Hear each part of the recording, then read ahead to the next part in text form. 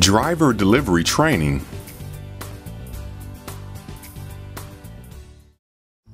Hi, I'm Doug Hanby, Chief Operating Officer of United Furniture Industries. On behalf of our management team and over 3,200 associates, I would like to personally thank you for taking the time to watch this video.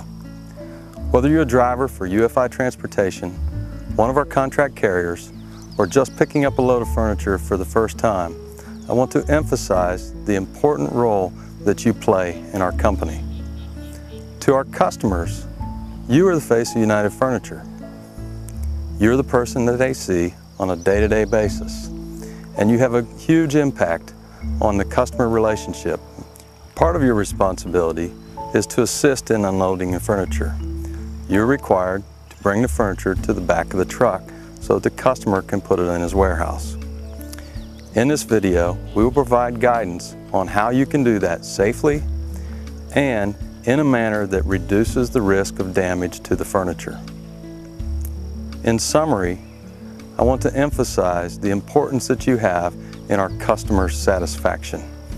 Remember, as you watch the remainder of this video, that our customers' perception of how you handle the furniture carefully and safely may well determine whether they buy from us again. Thank you. You should arrive to the customer's location neatly dressed pleasant, and courteous.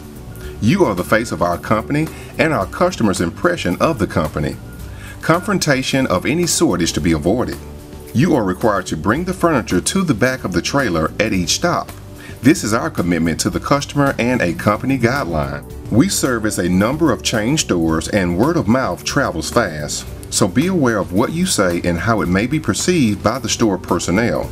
Most of all, remember that it takes very little time for uncooperativeness and rude behavior to get back to our offices. Each store manager is to break the seal. After breaking the seal, carefully open the trailer door while standing behind the door. Standing behind the door will help protect you in the event the load shifted and the furniture falls. Never attempt to catch a falling piece of furniture. Once the seal is broken, the door is opened and you have your two-wheel dolly placed on the dock you can back up to the dock door. Please treat the furniture as carefully as you would if it were a delivery to your home. Walk the furniture to the bottom. This will eliminate a big drop from the top and improve safety to you, which is our top priority. We require that you use a two-wheel dolly to move the pieces to the back of the trailer. If you do not have a two-wheel dolly, please ask the store if you can borrow one of theirs. Be sure to have the furniture centered on the dolly and that it is on the outside of the bag. The packaging is not designed to withstand dragging, so please do not drag it as it is highly likely it will damage the furniture. As you move the furniture onto the two-wheel dolly, Turn and walk forward to the end of the trailer. It is never safe to walk backwards as one slip will cause you to fall and the furniture to fall on top of you. If you're at a store with no dock, you will need to walk the furniture down to the ground where it may be moved with a two-wheel dolly. Do not drop the furniture to the ground. Please be careful as you move the large upholstered pieces and watch for the boxes with case goods. All of these are subject to shifting during travel. We are concerned for your safety as shifted products can be dangerous. Keep in mind the customer's perception of the condition of each piece is based on how they see you handle the furniture.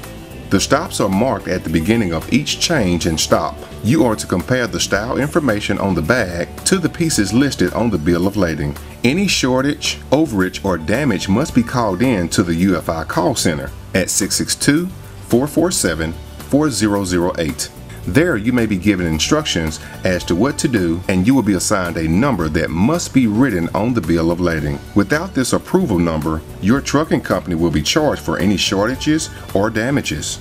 You will need to be sure to get all copies of the bills of lading signed by the store personnel. Please secure the next stop with either straps or netting. If you do not have straps or netting, you can step down the furniture for the next stop to help minimize shifting and related furniture damage. Once you have pulled the trailer from the door, the store personnel manager will reseal the trailer using the seal provided to you in the bill bag for the next stop. In summary, thank you for watching this video. We appreciate you taking care of our customers. Please be safe and remember you are the image of our company to our customers.